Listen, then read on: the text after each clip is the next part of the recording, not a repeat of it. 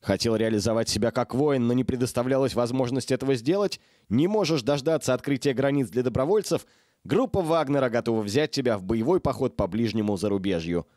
С марта руководство ЧВК Вагнера испытывает острую нехватку людей. Зазывают разными способами. Объявления в пабликах ВКонтакте, рекламные ролики на Ютубе, обзвон ранее не прошедших отбор кандидатов. Критерии набора сильно упростили. Берут теперь жителей Крыма и самопровозглашенных ДНР и ЛНР. Наличие долгов перед службой судебных приставов или отсутствие загранпаспорта тоже перестали быть помехой. Более того, к лету кадровые проблемы в частной военной компании стали такими серьезными, что сейчас бойцами ЧВК могут стать даже заключенные. Начиная с самого конца июня и до э, середины июля в геометрической прогрессии начался рост сообщений на горячую линию «ГУЛАГу нет» э, из разных регионов России. Горячая линия, она разрывалась, и, ну, наверное, процентов 70-80 э, процентов сообщений, которые к нам поступали, были от родственников заключенных и от самих заключенных. В отличие от мобилизации на воле, география вербовки заключенных не ограничивается удаленными от Москвы регионами. Предлагают поехать на фронт в колониях Ленинградской, Ярославской, Нижегородской областей, Краснодарского края, Мордовии и не только.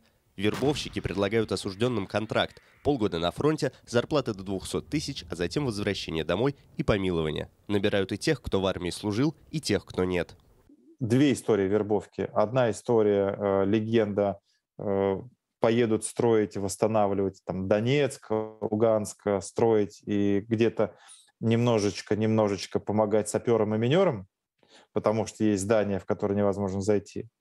И здесь очевидно, что, к сожалению, скорее всего, их будут использовать как минное мясо.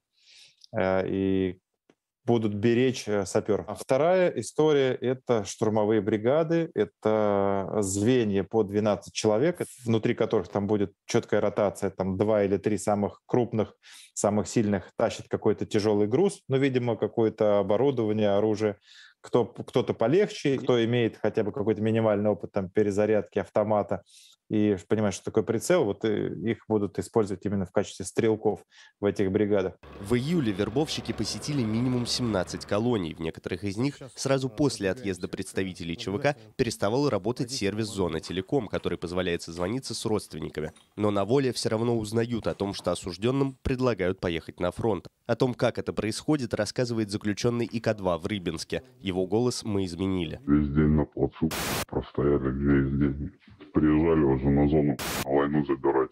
Частная военная организация говорит, нам нужны головорезы, которые хотят убивать, резать. Прикинь, ну, типа, пока что добровольно, еще там 200 тысяч в месяц предлагают. Там пол лагеря пошло. Что-то ходу времена достают. Другой заключенный этой же колонии утверждает, что вербовать в ЧВК приезжал лично Евгений Пригожин. Телеграм-канал «Житель МЛС» публикует пересказ слов так называемого «повара Путина». Заключенные, я представляю ЧВК «Вагнер», и у меня имеются все полномочия от высочайшего руководства России для того, чтобы призывать заключенных на войну. Я сам сидел в тюрьме 10 лет, и поэтому думаю, что вам понравится мое предложение. Если коротко, то вы воюете с нами в течение полугода, а в обмен на это вам будет подписано помилование и полное снятие судимости, вне зависимости от статьи и оставшегося срока. К вопросу о том, являетесь ли вы пушечным мясом. Это война, и на войне все это пушечное мясо. И вы не больше прочих. Вы будете жить в тех же окопах, в тех же условиях, что и мои ребята, есть ту же еду и лечиться в тех же госпиталях. Как рассказывает бывший наемник ЧВК Марат Габидулин, раньше Пригожин никогда не общался с бойцами лично. Казалось бы, зачем? К чему? Там есть определенный штат сотрудников, которые могут этим заниматься. Зачем самому непосредственно ездить по э, колониям и призывать. Но вот эти вот заявления, вот, э, вот эта вот риторика, э, очень сильно напоминает именно его сленг, его манеру.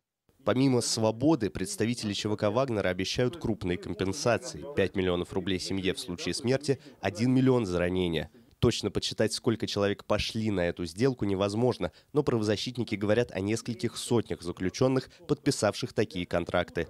Естественно, поскольку, как я уже сказала, вся эта история с вербовкой находится в серой зоне, никаких а, формальных а, юридических обязательств а, ни у одной стороны быть не может, равно как и каких-то гарантий, которые позволили бы говорить о том, что человеку будет положена какая-то выплата либо в качестве компенсации за службу, либо в качестве компенсации за вред здоровью или в случае смерти выплаты, как публично да, заявляется, выплаты родственникам. То есть э, все то, что людям обещают, как правило, это совершенно ничем не а, гарантированные какие-то обещания. По словам заключенных из Рыбинской колонии, Евгений Пригожин говорил, что ожидаемая смертность бойцов ЧВК 15%, а большинство смогут через полгода вернуться домой. Однако правозащитники подвергают сомнению эту цифру. Я могу сказать, что даже Вагнер в лучшем своем состоянии а лучшее, самое боеспособное состояние Вагнера – это был 2017 год по окончанию уже Дерзорской операции. Даже в этом состоянии э, эта бригада не очень-то и была готова к войне против э, армии западного типа даже в этом состоянии она очень сильно уступала в плане того, что все вот эти вот отряды, подразделения, они полный курс подготовки не прошли. Сейчас вот эти вот подразделения, это скоротечный э, такой вот э, период подготовки, ну, цикл там минимальный, практически постреляли и отправили. Это практически слабо организованная толпа. То есть они предназначены только для выполнения, вот четко они предназначены только для выполнения вот этого элемента наступательного боя, атака. О первых смертях заключенных наемников сообщили журналисты издания «Важные истории». Их источники говорят о гибели трех человек, до недавнего времени отбывавших наказание в петербургской колонии Яблоневка. Получили ли их родственники компенсации, неизвестно.